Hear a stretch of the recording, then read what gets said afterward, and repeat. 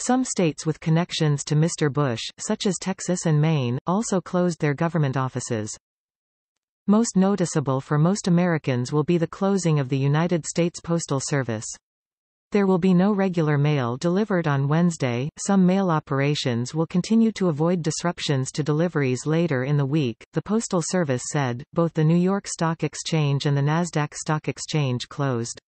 The Supreme Court was also closed, as were federal courthouses around the country and Social Security offices nationwide. The Senate and House postponed or cancelled votes to accommodate the funeral, too.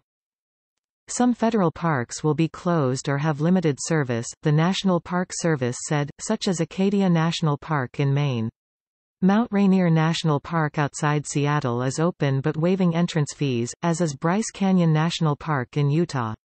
Two popular destinations in New York, the Statue of Liberty National Monument and Ellis Island, remained open, and park rangers there are encouraging people to think of Mr. Bush during their visits.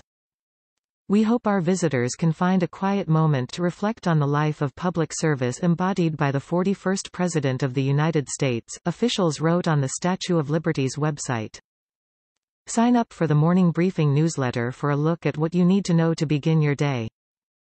The history it is common for presidents to mark the deaths of their predecessors with such proclamations. President Andrew Johnson declared a day of mourning in 1865 for Abraham Lincoln, President Richard Nixon declared one for former President Harry S. Truman in 1972, and President Bill Clinton declared one for Mr. Nixon in 1994.